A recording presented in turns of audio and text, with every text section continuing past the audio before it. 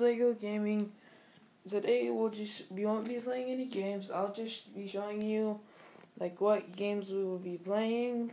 Not any of these games up here. Not in the ones in gaming.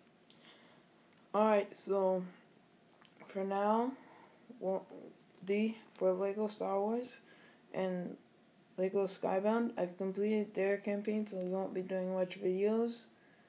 For this, I've for Lego Ninjago movie, I've almost finished the campaign. Well, I'm not that close. I'm like halfway. And but for these three micro micro fighters, Ride Ninja and Lego Murloc Duel, I haven't completed any of the campaign. Or this game isn't a campaign game. It's just a game for fun. And for the days like I don't where I don't feel like doing anything or playing any games, I'll just be for going for Lego Life, and then so Lego Skybound and Star Wars and The Force Awakens.